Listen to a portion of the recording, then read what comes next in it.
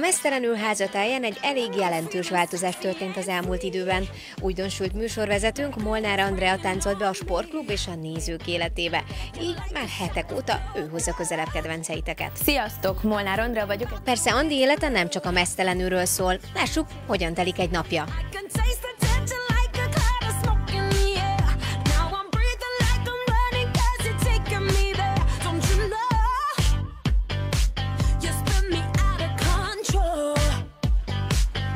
Andiról annyit már ti is tudhattok, hogy élete a tánc. Indulhat a nap. No meg a tanítás. Tette ezt korábban a szombatesti lázban,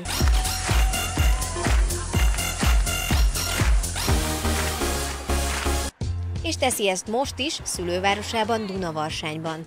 Ám jelenleg nem hírességeket oktat a latin stílus csínyára, bínyára, hanem gyerekeket, hiszen a képernyős élete mellett hetente négyszer tánctanárként, mondjuk úgy civilként is megállja a helyét.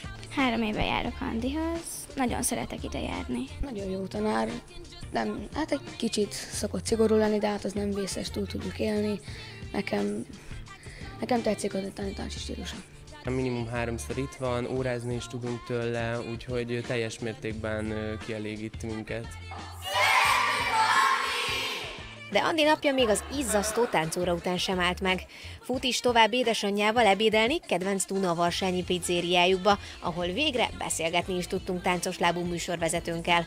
Múltról, jelenről és persze jövőről. Bár a táncos múlt Andi esetében nem az általános iskolában indult, hanem 18 éves korában. Ennek ellenére három hónappal azután első versenyén rögtön harmadik lett, így egyértelművé vált számára, hogy ez az ő útja. Sok éven keresztül ez volt a legfontosabb, hogyha megkérdezték volna, hogy mi áll első helyen, a magánélet vagy a tánc, azért összeszorított foggal azt mondtam mindig, hogy a tánc muszáj, hogy az első helyen álljon, hiszen akkor, vesznek, akkor veszik komolyan az embert. Egyrészt én is akkor tudom a céljaimat igazán komolyan venni, hogyha fókuszálok az adott célra, és tudtam, hogy ö, 27-8-9 éves koromig ö, ki kell táncolnom magam, hiszen ez a legrövidebb karrier szerintem. Oppa Gangnam Style. Aztán teltek múltak az évek, és közben egy egész ország megismerte és megszerette Andit. Természetes és barátságos maradt, még annak ellenére is, hogy a szombatesti láz miatt óriási népszerűségre tett szert.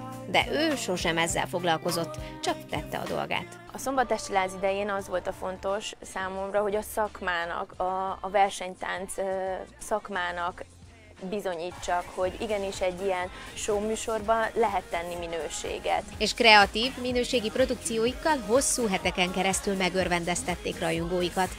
Ám a páros legnagyobb híve természetesen Andi édesanyja volt, aki minden pillanatban izgult lányáért. sokat könyv, könyvbe lábat teszem el. Az, az, De amúgy is az- érzékeny típus. Én nagyon, nagyon érzelgős típus vagyok, és, és hát az első szombatesti láz az, az azzal tel, hogy, hogy én is csak eszméltem, hogy úristen, megint, me- megint tovább jutnak, és úristen, miket csinálnak, és egy csomó figurát titkoltak előlem is, mert ugye volt benne életveszély. És aztán a szombatesti lázat a sikeres időszak után jött a nagy morfondírozás. Hogyan tovább? És Andrea úgy döntött, új életet kezd. Leteszi a lantot és gyermekek tanításának szenteli az életét, ám a sors, a mi szerencsénkre is másként alakította a dolgokat. Andi műsorvezető lett. Még nem villant fel a piros, ugye? Ez a műsorvezetés nagyon tetszik, és, és, és élvezem azt az egy napot, amit a stúdióban töltök, annak ellenére, hogy, hogy, hogy nagyon izgulok, és meglátjuk, hogy, ö, hogy, ö, hogy a média felé fogok még többet nyitni, vagy maradok az edzősködésnél, és a, a, a gyerekek kapnak belőlem többet. De ahogy a mellékelt ábra mutatja, csínos táncosunk jól érzi magát ebben a szerepben. Ám ennek ellenére megkérte családját, hogy egyelőre ne nézzék meg a tévében, még bizonytalan tudását illetően. Ezt persze azért nem mindenkinek sikerült betartania. A legelső adást azt én megnéztem az első éjszaka. Andi napirendje igen sűrű, hiszen a családi ebéd után egy családias stúdiófelvétel következett. Csinos műsorvezetőnk tehát még profi segítséggel átnézte az aznapi konfokat, De akkor nem balettozni fog. Nem, de diótörésből jobb, mint Csárkoszki szerintem. Tehát. majd egy gyors smink következett, és már indulhatott is az aznapi adásfelvétel. Óriási lelkesedéssel, és ahogyan azt tőle megszokhattuk, még több alázattal.